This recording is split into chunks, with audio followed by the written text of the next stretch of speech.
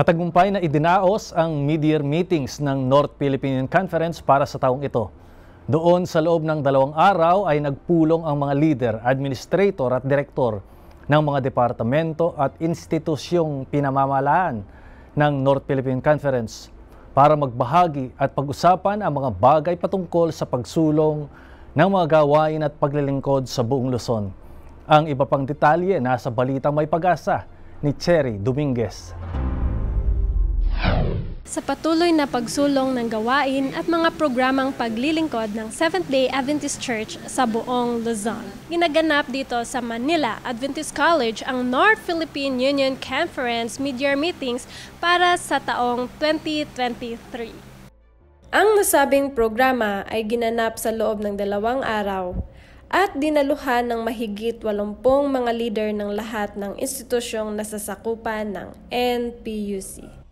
Sa temang I Will Go Be His Witness, ginanap ang nasabing pagpupulong upang makapag-report ang bawat institusyon sa mga nangyari sa unang kalahati ng taon at mapag-usapan ang mahahalagang mga bagay para sa ikasusulong ng gawain ng Diyos.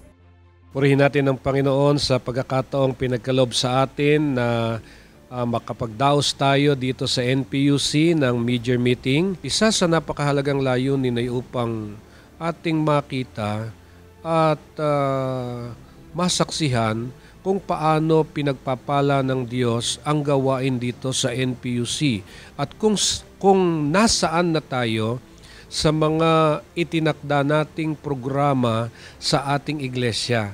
Ang mga paksang ibinahagi at tinalakay sa pagpupulong ay parehong hinimok at nagbigay ng hamon sa pakikisangkot at paglilingkod ng mga butihing tagapangulo. Ang Central Luzon Conference po ay uh, nagprograma ng aming tinatawag na I Will Go Plant a Church 100.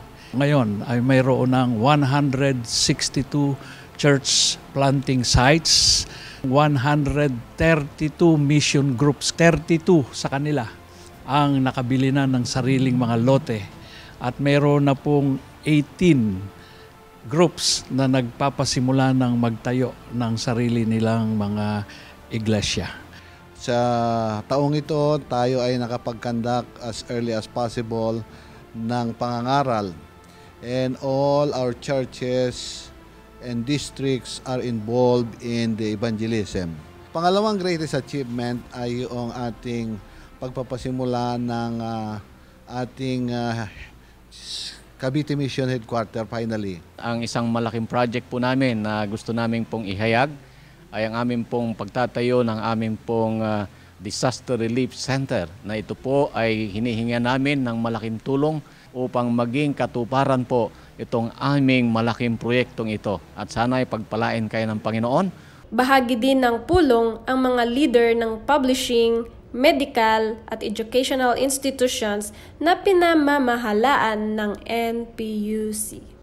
Sa pagtatapos ng NPUC Mid-Year Meetings 2023, inaasahan ang pagkakaisa at kolaborasyon mula sa mga leader ng mga institusyon samantalang nangunguna at naglilingkod hanggang sa muling pagpupulong bago matapos ang taon.